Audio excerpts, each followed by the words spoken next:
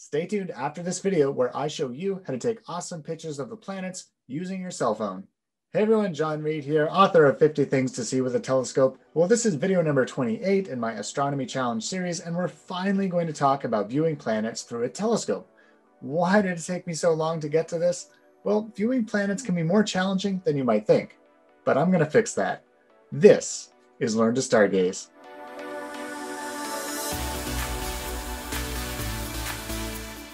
Before we talk about looking at the planets through a telescope, you need to learn to find the planets, at least Mercury, Venus, Mars, Jupiter, and Saturn. And you need to learn to find them without a telescope. Because if you can't find them without a telescope, I guarantee you won't be able to find them with a telescope. We'll talk about Neptune and Uranus last because you do need a telescope to see these planets. The word planet originates from a Greek word meaning wanderer. And this is because planets appear to wander across the sky from day to day and month to month.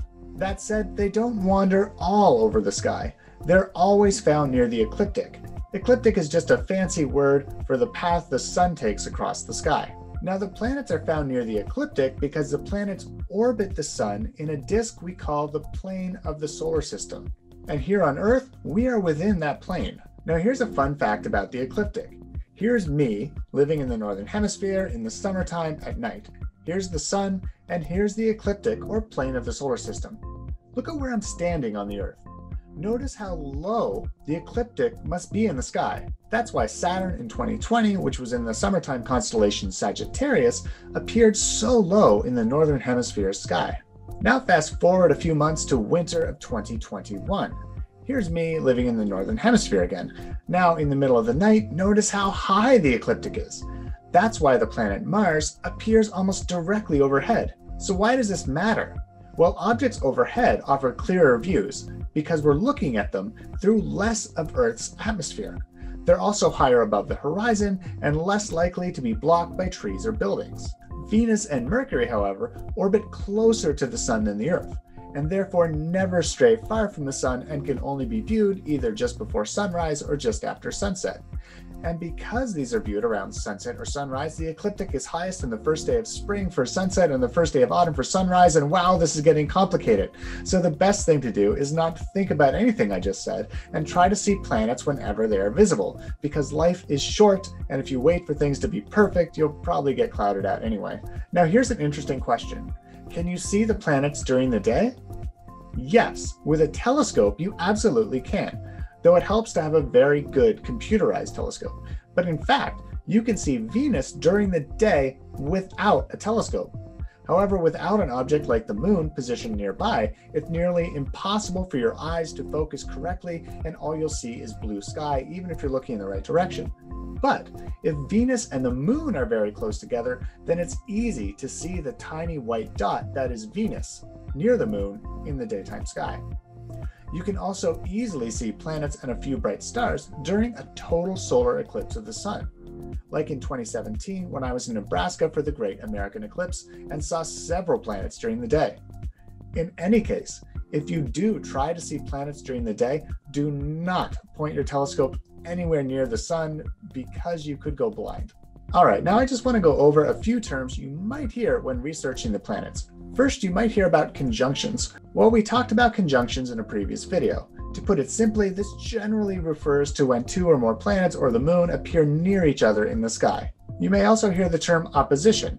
This is when a planet is directly opposite the sun from the Earth. This also means that the planet is near its closest to Earth, and also that it's the highest in the sky in the middle of the night. Opposition is generally a great time to see a planet with a telescope. Less frequently, you may hear the term greatest elongation. This only refers to Venus and Mercury and occurs when the planet appears farthest from the Sun when viewed from Earth. You may also hear the term retrograde, which simply means that the Earth has passed a planet in its orbit, just like you might pass another car on the freeway. And like the car you just passed, the planet will briefly appear to be traveling in the other direction as it moves across the sky. To be clear, a planet in retrograde has absolutely no impact on daily life here on Earth. And now, phases. Just like the moon has phases, so do Venus and Mercury. This is because those planets orbit closer to the sun than the Earth, and we often face their nighttime sides. These phases may be harder to observe with Mercury because Mercury is a challenge to observe anyway, since it's close to the sun, but with Venus, the phases are actually quite pronounced through a telescope. Now, on to finding the planets. So, what's the best way to know what planets are visible on a given night? Now, there are so many options, all of which work equally well. You could subscribe to a magazine like Sky News, or you could use the RASC's Nighttime Almanac for the given year. Or you can check the internet. I often use a website called skymaps.com and use their evening sky map. But most often, what I do is simply check free astronomy software like Stellarium. Now, I pretty much only stargaze in the evening within a few hours of sunset. So when I use Stellarium to learn what's up, I just set the time to approximately an hour after sunset and then fast forward a few weeks to see what the planets are doing. Be sure to select planets from the bottom menu. So as an example, let's look at the spring, summer, and fall of 2020. We started the year with Venus high in the sky after sunset. Mercury makes a brief appearance, then we have Saturn and Jupiter hanging out over here in Sagittarius. Mars is high in the sky as it reaches opposition, providing incredible views even through small telescopes. We ended 2020 with a beautiful conjunction of Jupiter and Saturn. And finally, how do we find these planets in our telescopes? So from this point onward, I'm going to assume that you've determined exactly where the planets are going to be on the night that you're doing your observing. This is January of 2021, so I'm going to use Mars as a quick example. You can see it here to the west of the constellation Orion. When first attempting to view a planet, make sure you remove any Barlows from your telescope. Choose your lowest powered eyepiece. That's the one with the highest focal length the focal length of the eyepiece is always written right on the eyepiece.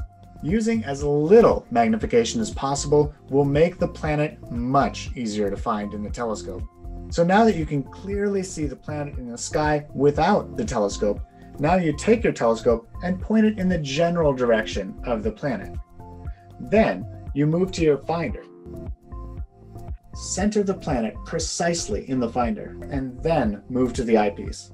If the planet does not appear on your eyepiece, then the telescope and the finder are pointed in different directions, and you'll want to go back to video number 22 in this series, How to Use a Beginner Telescope.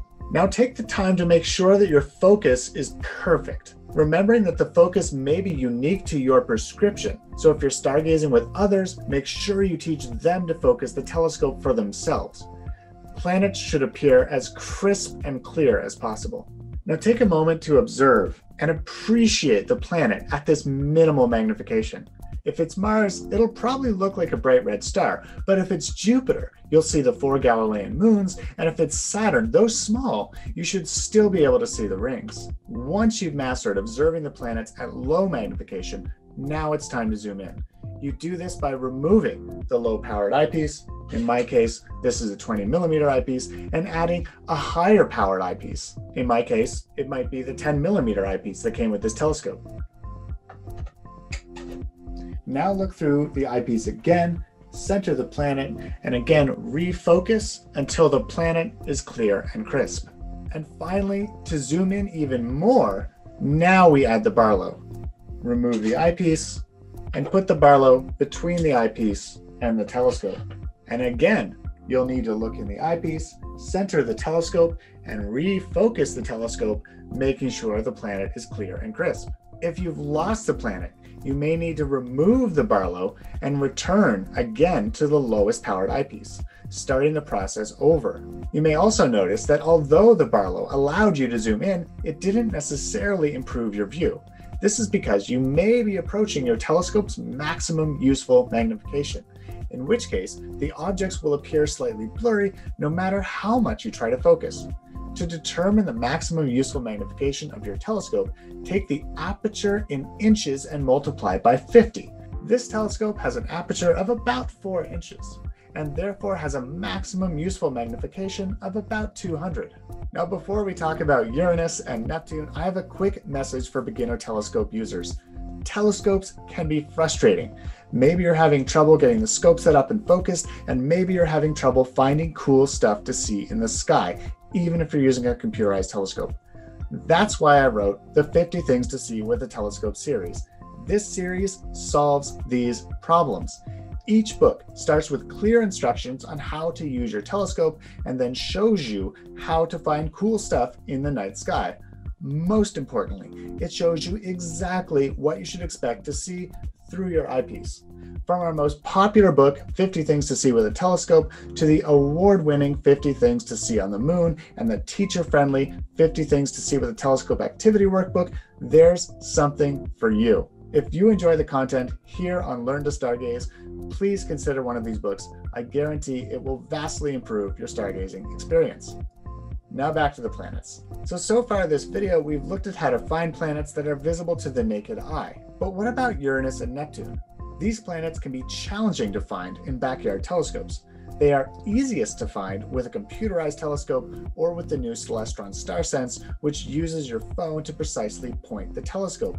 But if you don't have any type of computerized assistance, you'll have to star hop to the planet. To do this, bring up the planet in astronomy software and note exactly where it is using neighboring stars as a reference. Build a set of directions to the planet based on these reference stars and point your telescope precisely at this location using your finder. As an example, here's Uranus as it appears tonight, January 27, 2021. Here we can see that Uranus is located near Mars and near this hexagon of stars, which is an asterism called the head of the whale. Using Mars and the base of this asterism, we can star hop to Uranus by forming a right angle as shown. Now we just point the telescope exactly at this spot. And if you're using a finder scope, you may be able to see Uranus or Neptune in the finder as a small bright dot, assuming the finder scope itself is powerful enough. If you're using a red dot finder or a Telrad like this one, you won't see it since these finders do not provide any magnification. Even if you're searching for Uranus and Neptune, you'll want to start with the lowest powered eyepiece. As soon as you've found it, then you'll want to move up to higher powered eyepieces and maybe even the Barlow. Depending on the size of your telescope, you may be able to resolve the planet's disk and see one or more of its moons. Moving on, now, I've been getting a lot of questions about zoom eyepieces for viewing planets, like the Celestron 8 to 24 millimeter. Should you get one? Well, a zoom eyepiece simply saves you from having to switch eyepieces to zoom in. So if you think that's worth the cost, then go for it. But it's not a whole lot different than just using the two eyepieces that probably came with your telescope. Well, after you found a planet that looks cool to your eye, like Saturn, and if you're like most people, you'll want to photograph it and share that photo with your friends. So here's how you do that. So when taking a photo of a planet with a cell phone, there are a few things you'll want to consider. First, it takes practice and a lot of practice. The phone must be lined up perfectly for the image to appear on the screen. That's why it helps to have a phone adapter like this one. And for those that are wondering, this is probably the best cell phone adapter there is. This is the Celestron NexYZ. Now I'm gonna show you what it looks like to do this without the phone adapter. For this video, we're just gonna use the eyepiece and hold the phone up to the eyepiece to take the picture. The second thing you'll want to consider is the camera app you're using to take the picture. Now, I usually use the standard app that comes with the camera, but the challenge here can be getting focus and setting the correct exposure it's important that the planet not be too bright or overexposed. Using an app like Nightcap allows you to lock the focus and the exposure because you need the planet to appear decently on the screen for this technique to work. The third thing to consider are the eyepieces and Barlows you'll be using, and this is where you really need to experiment for yourself. Just as it was with visual observing, it's easiest to find the planet with the lowest powered eyepiece and no Barlow. However, without higher powered eyepieces and maybe a Barlow, the planet will appear tiny on the phone screen. So you'll need to find the eyepiece and Barlow combination that works best for you. So for this image, I used a 20 millimeter eyepiece and a 2x Barlow attached to the telescope. So here's how you image the planet. First, you set your phone to video mode. If you try to take a photo using the photo setting, it's unlikely that you'll get a decent image. Next, you want to make sure that the planet is centered in the finder and the eyepiece, and that it's in focus. Now here's the tricky part. You now need to get the planet centered precisely on the phone's screen, and you need to be able to hold it steady. I usually cup my hand around the eyepiece and gently hold the phone, moving it ever so slightly to get that planet centered. Now it's okay if the planet bounces around on the screen. We're gonna fix that when we get this video file onto the computer. Now, once you've got the planet centered on the screen, you're going to wanna zoom in just a little bit. You're going to then adjust the exposure so that you can see details on the planet, as much detail as you can. And you're gonna wanna make sure that that focus is as good as you can make it. So you'll probably wanna do a combination of focusing on the telescope itself and focusing in the camera's application as well.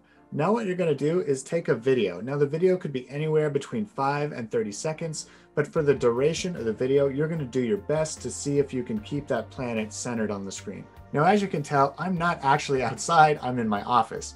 Fortunately, I did get a video of Saturn using this exact setup about two months ago. So I'm gonna move that file onto the computer and we'll pick it up from there. Note that the following process is designed for PC users. And now that's just because most astronomy software is written for PC. If you use a Mac exclusively, there is a similar process using a free piece of software called Lynkeos.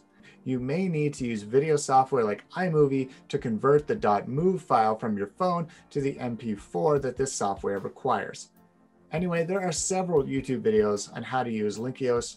I'm going to show you the PC version. All right, so here we are on the PC, and now I've got this video transferred over from the phone to the computer. And so here you can see, here's Saturn. It's bouncing all over the place. And remember, I am just holding the phone up to the telescope's eyepiece here. And so it's wandering all over the place. And you can see uh, how big it is on the screen. Um, and that's just what's realistic for a telescope of this size. That's about how big it's going to be. All right, so I'm going to close this. Taking this video and turning it into a picture that we can share takes two pieces of software. And they're both free, and you can download them off the internet. So the first is called PIPP. So we're going to start with PIPP, and the first thing we want to do is drag and drop the file from the phone into the software. And here's just a preview of what it looks like. I'm going to close that. We can see that this video has 1300 frames I'm going to take about the first half of those frames just because I, in viewing the video, those look like the best frames. Okay, oh, going back to source files here, I'm going to click planetary and that will optimize um, the file here for planetary imaging. Look at some options here. All right, I'm going to crop this video to a thousand pixels by a thousand pixels. Okay. And then checking our output options, you want it to be an AVI and to save some space on the computer, I'm gonna uh, use a little bit of compression here. Then we're gonna click do processing and start processing. What this software does is it's gonna take that movie file and convert it into an AVI file, but it's also gonna take the image of that planet and center it in the video and that'll make it a lot easier to work with in the next piece of software, which is going to turn the video into a still image. All right, so PIPP created a folder, and in that folder, we can find our new video file. And let's watch that video to see if it worked. There we go. We can see that the video of uh, Saturn is now centered in the frame, and now this is an AVI file instead of the move file from the phone. So now we can close PIPP we're going to open a piece of software called Registax. We're going to hit select and find our file. So in the PIPP folder, we're going to select the AVI file. And the first thing we want to do here is maybe uh, use the slider. This is going through all 700 frames. And pick a good one where you can see a little bit more detail than the others. These look all about the same to me. The first thing you're going to do is hit set align points and it's going to choose um, two. We can add more. And what these are going to do is just tell Registax uh, where the planet is. And now all these frames look pretty good. I'm going to select the best, maybe 50%. So that'll be 350 frames.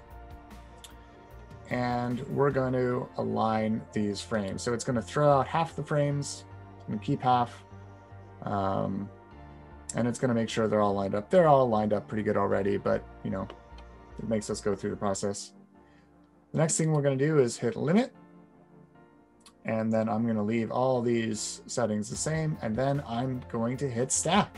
And this will turn that video into an image. And this will take, uh, for me, it's about 10 seconds to process. Okay, now the video has been converted into an image. This is where the magic happens. We're going to hit wavelet. And then in wavelet, what we usually do is just play with these little sliders and this sharpen and denoise feature until the planet looks uh, as good as we can make it. So usually moving the slider on this wavelet over quite a bit, sharpening it up a little bit, and then taking the noise away here gives us a pretty good image. Now, for some reason, if I deselect show full image, I tend to get a better image here. And there we have it. That's not bad. That's not too bad. Sometimes you might want to adjust the histogram just a tad and maybe make it a little bit brighter. Then we're going to hit do all and save the image. Now we've got a JPEG file of that image that we can then rotate. And there's our final image. I know it looks a little small. Given the fact that we use just a small telescope and an iPhone, that's actually a great image. And you might also be able to do better. It just takes a little bit of practice.